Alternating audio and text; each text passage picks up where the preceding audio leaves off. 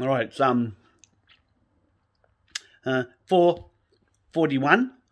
I had my AstraZeneca shot about uh, forty-seven minutes ago, and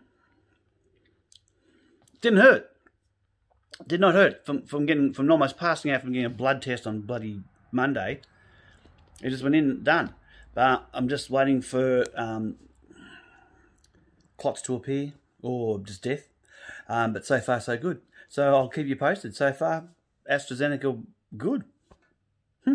But let's wait and see.